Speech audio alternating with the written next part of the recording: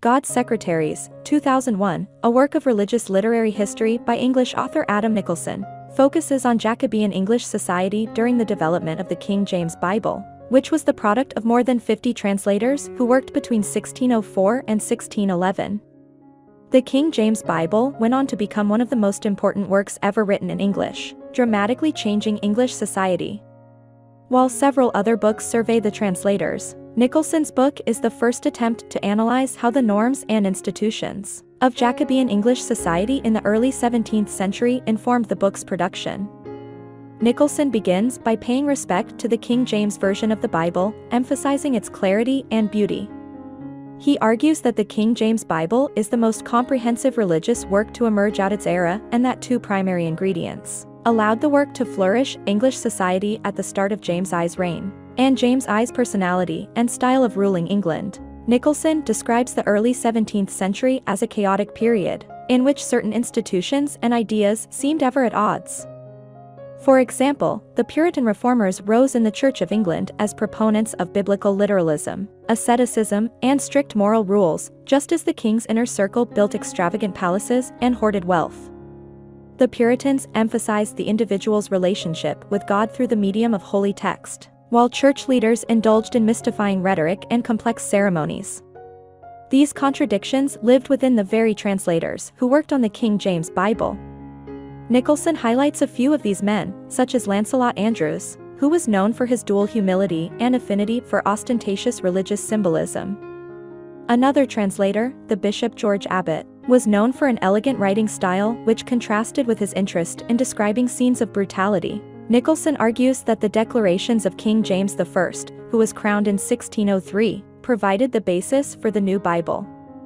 James I declared a preference for the medium in all things, and promoted a philosophical regime of inclusiveness and harmony, even between different religions.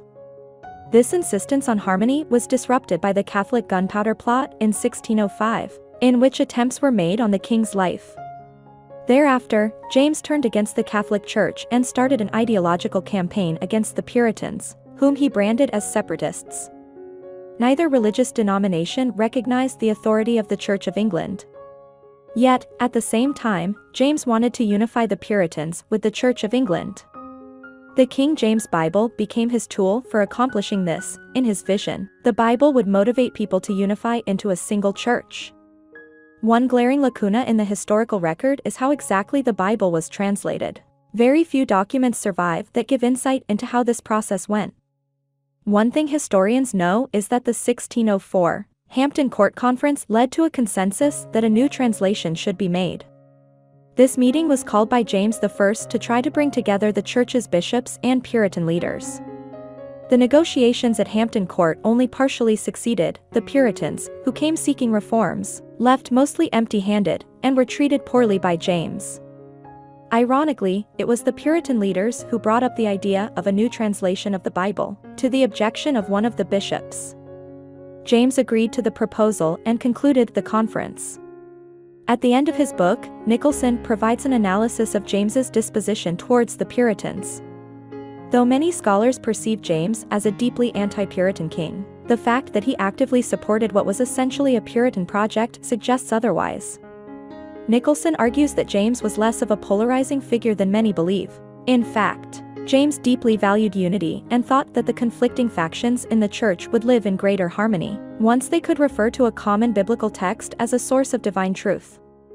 I hope you enjoyed this video leave a like if you did and be sure to subscribe thank you.